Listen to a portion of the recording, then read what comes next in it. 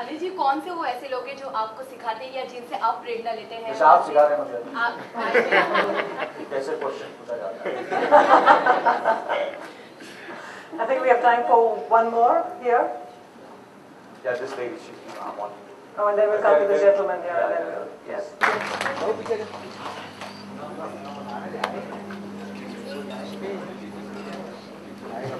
अभी अभी तो और भी कुछ चल रहा है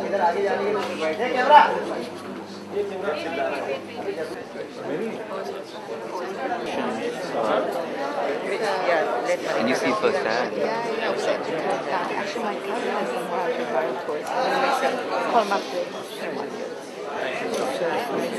The power of celebrity is that strong, I guess, that it can really make an immediate difference. You know, Malika, it's always the intent.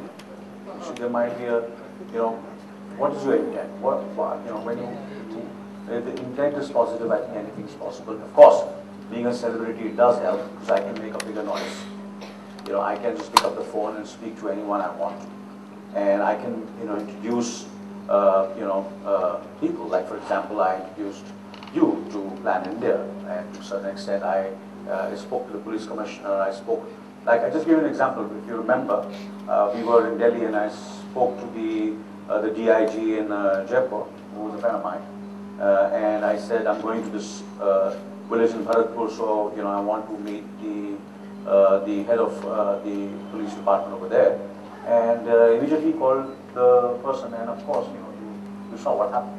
Everything started moving.